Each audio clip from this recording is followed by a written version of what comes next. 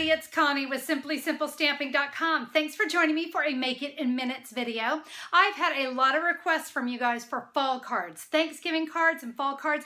Look at this one. I love those little acorns. They're whimsical, and I love that plaid background that came from the Warmth and Cheer Designer Series paper stack. Great way to use that paper, great little focal image, and a sentiment that pretty much says it all, grateful for you. We even have a little more on the inside. Let's get going with our card today. So for this card, it's kind of nice. We're going to be using the Warmth and Cheer Designer Series paper stack. And these are little six by six squares of designer paper. So I want to show you really quickly how I cut down uh, my piece of designer series paper so that I could create two of today's card. All right, this is very simple to do. We are going to line up the cardstock on the one inch mark and we're going to cut.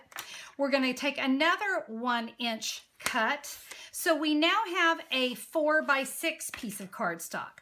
Let's rotate that around to the three inch mark and we are going to have two equal pieces that are cut three by four and then we're going to have two equal pieces that are six by one. Now because my card is five and a half inches I am going to go ahead and cut these down to five and a half inches. My card base is in Delightful Dijon and I have that cut at eight and a half by five and a half. I've scored it at four and a quarter. And then I'm gonna be using as a background piece a piece of Very Vanilla and this is three and a quarter by four and a quarter. I also have um, some of the gold trim, and I believe I believe I had 32 inches of this gold trim. My stamp set today is the Acorny Thank You, and then I'm going to be using the matching Acorn Punch. I'm going to begin with a chocolate chip ink pad, and then I have one of the Acorn toppers. And there is a little trick because we want to be able to use this piece as a layering piece. So I'm going to stamp uh, one of the um, Acorn toppers. You notice the stem is to the left. We're going to rotate that around and stamp another one on this side. Now let's go ahead and come in with the matching punch. And when we do this and I line up that acorn top, you can see I'm going to get a full acorn right there. And yes, we're going to be using that.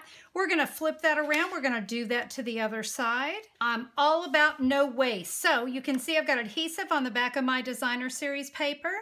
We're going to cover that up. No one will have a clue that we use that to do all of our punching. Let me set that off to the side. I now want to stamp my two acorns. I'm going to be using Cajun Craze and Delightful Dijon. So let me come in and ink up uh, the solid base here of the acorn and I'm just going to stamp it. This is what's great about photopolymer stamps. I can stamp right there in the middle.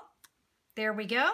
I can clean that on my stamp scrub really quickly and come in with the Delightful Dijon and let's do that same thing to my other acorn. Beautiful. Okay, I have those stamped. Now we can add the toppers, and um, I'm going to do this a little bit different. I want uh, one of them, and I think I'll do the Cajun Craze. I'm going to pop that one, but this one I'm just going to adhere flat, but I got to tell you, I don't want to worry about lining up that stem, so let's just rip that sucker off of there. We don't need to worry about that. I can add some snail adhesive, line those up, so there's one acorn done. This one here, I'm actually going to add Stampin' Dimensionals. And I'm going to use a little bit of these Stampin' Dimensional bones. And just a little bit. It's not going to take a lot, but I love using the edges of my dimensionals because I don't have to worry about the dimensional showing versus, you know, using a whole one. So let's take the, oh, you know what? Just like I did before, I just don't want to deal with that stem. We're going to rip that off Line that up. Okay, our acorns are done. Let's go ahead. We're going to bring in um, that focal image that we had. All right, let's take our gold baker's twine. I've got, oh, probably about a finger's length hanging off the edge. Let's wrap this around. And now we are just going to tie it here on the side. I personally like to tighten a knot so that um, I'm not fighting holding that down, especially when it comes to working with um, baker's twine. So let's tie this in a bow. We can trim off the excess.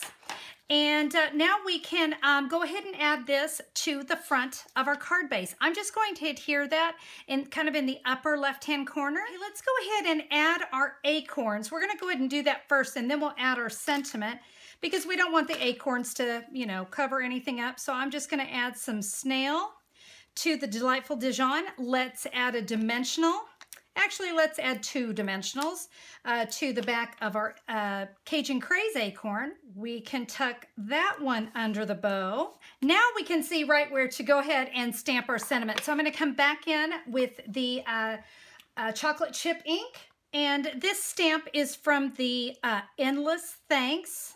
I love it because I get two different um, fonts. So I'm going to say grateful for you. Now, on the inside, we can take that strip that we had left over and let's just add that to the inside of the card.